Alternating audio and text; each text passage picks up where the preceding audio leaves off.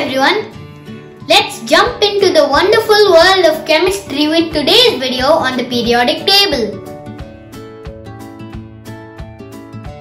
The periodic table was invented in the year 1869 by a Russian chemist named Dmitry Mendeleev.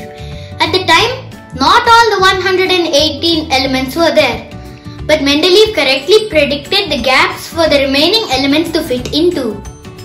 A row in the periodic table is called a period and a column is called a group.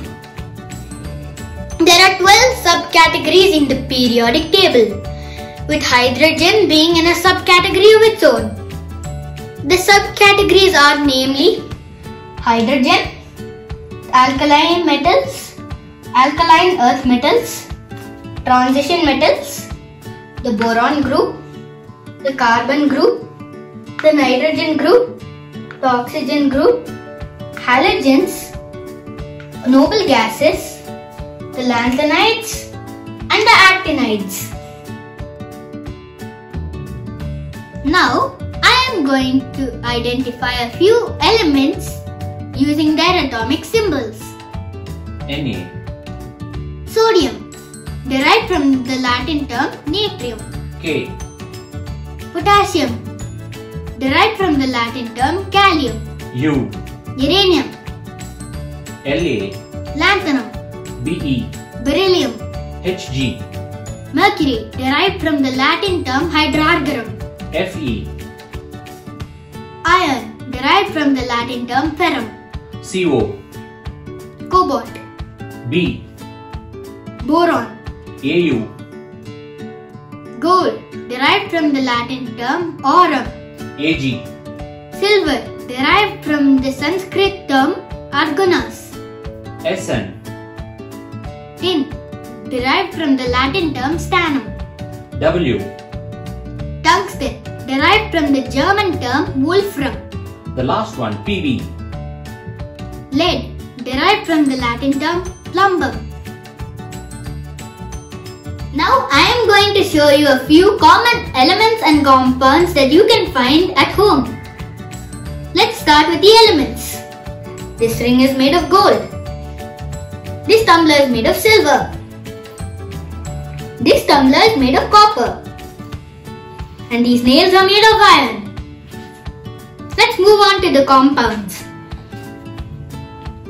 Inside this stainless steel tumbler, which is made of chromium, silicon, nickel and iron, you have water, which is made of hydrogen and oxygen.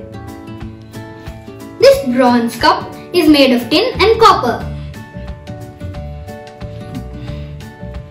Here you have sodium bicarbonate, which is baking soda.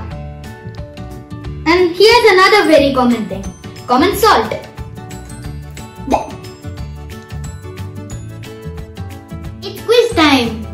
What are the five most abundant elements in the universe?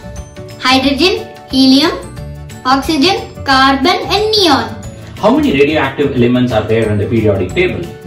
38 radioactive elements out of which 25 are synthetic Why are transition metals called the transition metals? because they are the transition from the alkaline earth metals to the boron group. What is vulcanization?